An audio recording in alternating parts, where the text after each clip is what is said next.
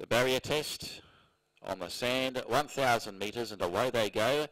And Berni Dancer got away to a good start, but on the inside stub, and a further two lengths away were Love Me on the inside of Luck Treasure, who brings up the rear. Coming off the back straight now, Berni Dancer is the pace setter, and now starts to extend the margin. It's out to a four-length lead over Stub, and then came Luck Treasure, and Love Me goes back to be last of all. Approaching the home turn now at the 350 metres mark. And Berni Dancer is really extending here. Has dashed away to about a six or seven, seven length break on the opposition. Now going through to be second there was still Stub out. Deeper is Luck Treasure. And then came Love Me, given an easy time over the final stages as Berni Dancer starts to come to back to the pack slightly, but still has this handy break with 100 metres to go. And virtually leads all the way Berni Dancer.